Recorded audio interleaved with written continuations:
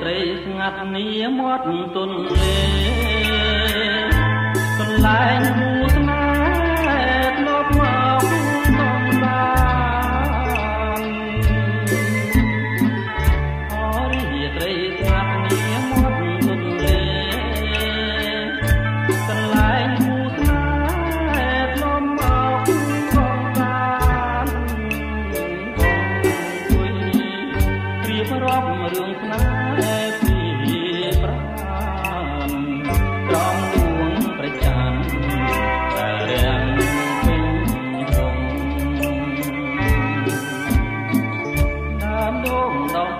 ទៀតទៅមាត់ស្ទឹង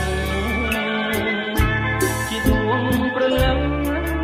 ខ្ញុំនឹងរួនល្អដើមដូងដុះទេទៀតទៅមាត់ស្ទឹងជាដួងព្រលឹងខ្ញុំនឹងរួនល្អដូងទេកុំរេ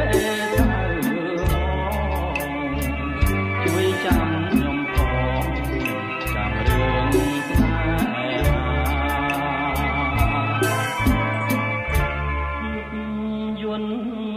ត្រជា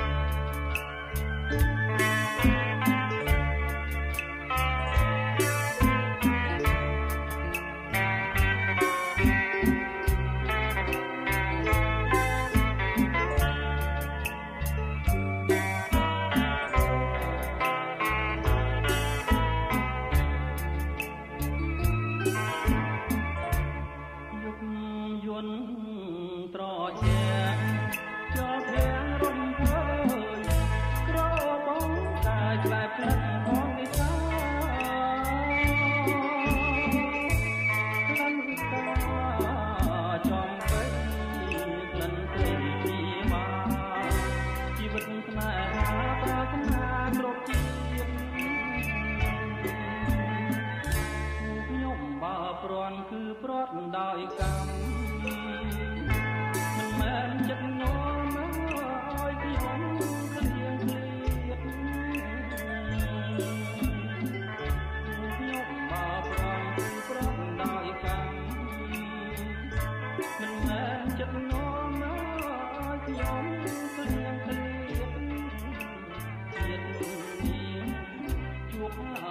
ក្រោយជួបទៀត